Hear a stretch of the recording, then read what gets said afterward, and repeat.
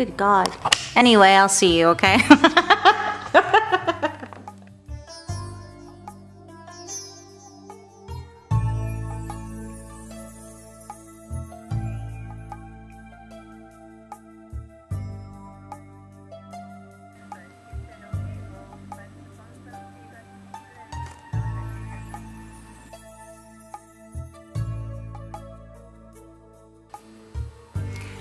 Greetings and salutations. I'm Maryann Kay and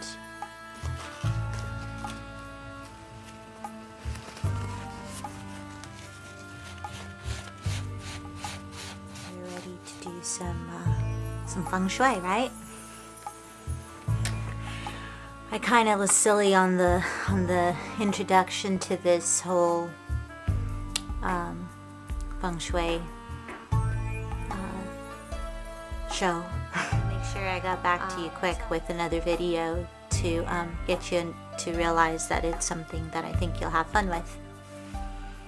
Uh,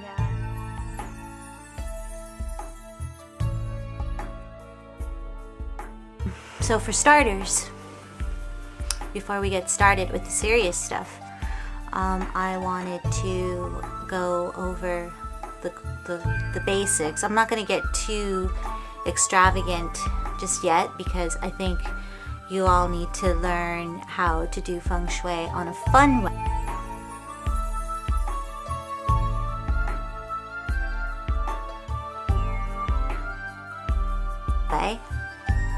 As well as learn the basics so it's not so overwhelming because there's a bunch of things involved. Um, fun things like fire and water and wood and um, colors. I mean, there's just a lot that goes into. Uh, I mean, that's the fun part, of course. But uh, I think the the worst part of feng shui is clutter clearing. I'm sure you guys are all like, oh yeah, that's because I know it's my thing. But who, you know, all of you out there who are really um, super neat and all you need to do is the is the fun stuff. I mean, I think, or what it's called, neat freaks in the feng shui realm.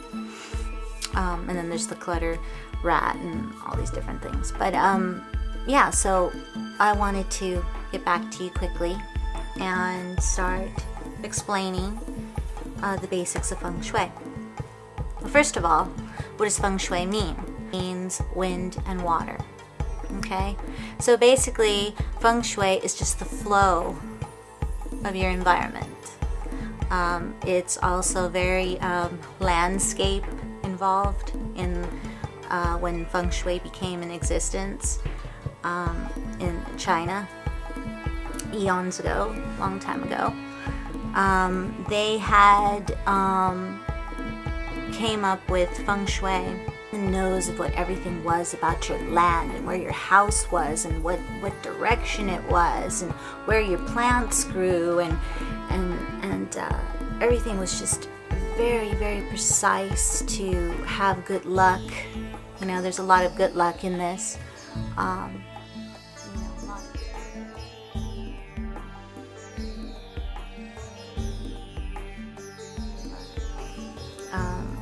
when you feng shui your home, it just goes it goes beyond, you know, all these good things start to come to you.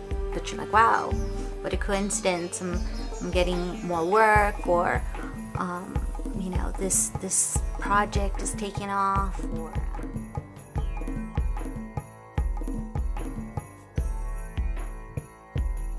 you know, all, uh, it, you do notice something, a coincidence, if you will that pops up and you're like, wow, it's pretty odd that I did this and all of a sudden, you know, things are getting better. So there's a lot of good luck involved. Um, also, um, so it has a lot to do with your land, environment, and whatnot. But we're taking it to the to the easiest of feng shui. Okay, so we're taking it to the to the basics of feng shui, um, which is a very simple way of feng shuiing so you don't have to feel like you did something wrong. Um, and it's called the, the Black Sect.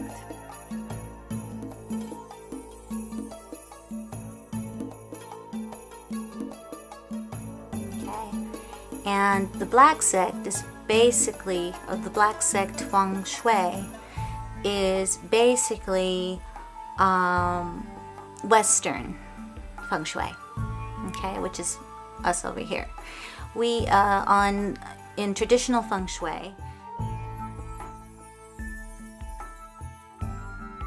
There is a compass involved where you have to make sure that everything is going to the north, to the east, whatnot. Okay. Well, obviously, for those.